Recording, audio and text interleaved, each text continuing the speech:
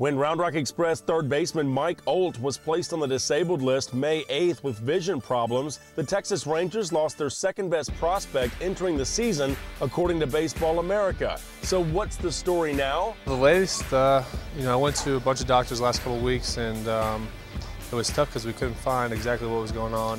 And uh, as of late, we found something that could be a small little fix, and uh, you know, we're kind of building off that and seeing how my progression goes this week, and hopefully with the procedure I'm going to go through, it's going to be quick and easy. I'll be back there in no time.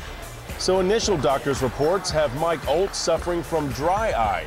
My right eye wasn't producing enough fluid, uh, like a teardrops. You know, they gave me a special lubricating eye drops, and hopefully that's going to allow my eye to relax and uh, kind of help rejuvenate it and keep it from being all dried out. My swing felt good, everything felt good. I just wasn't swinging the pitches, you know, that I was even going to the plate looking for, which is not usually like my approach it got uncomfortable because I wasn't able to pick up the spin. So, you know, my first instinct was kind of, you know, freeze a little bit because I, you know, struggled on seeing if it was breaking or if it was a fastball in. So uh, I was trying to blink my eyes to get clear vision again and uh, wasn't working in time and, and, the ball was coming. So, you know, I definitely noticed past couple of days with uh, these special eye drops, it's been really helping. Olt first noticed the problems in Surprise, Arizona at spring training. Now he can see the light at the end of the tunnel.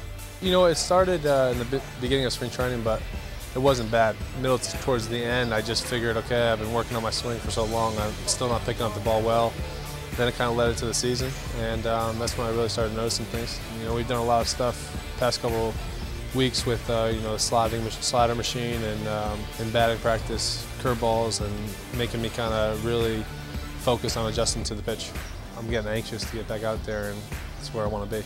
You might remember the 24-year-old Mike Olt actually made his first appearance with the big league club back in August of 2012. Spent two months with the Texas Rangers, but was limited due to plantar fasciitis in his right heel. He overcame that injury and expects to have a full recovery from this vision problem here in Round Rock.